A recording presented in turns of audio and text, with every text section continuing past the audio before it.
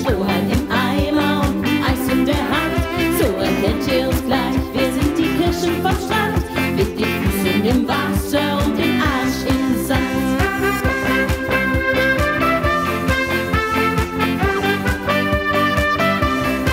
Jetzt bin ich neun Tage hier, oder waren es zehn?